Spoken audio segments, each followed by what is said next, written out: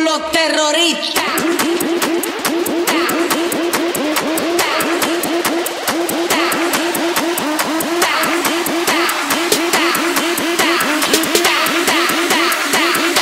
They do the Harlem Shake.